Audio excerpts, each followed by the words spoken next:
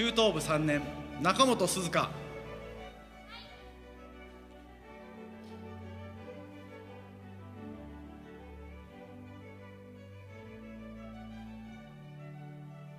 卒業証書中本鈴香殿。右は歌やダンス新しいひらめきを習得し本日桜学院の全課程を修了した。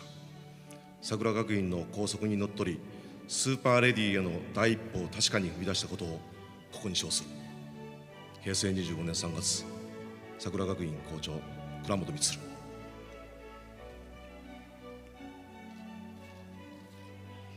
おめでとう。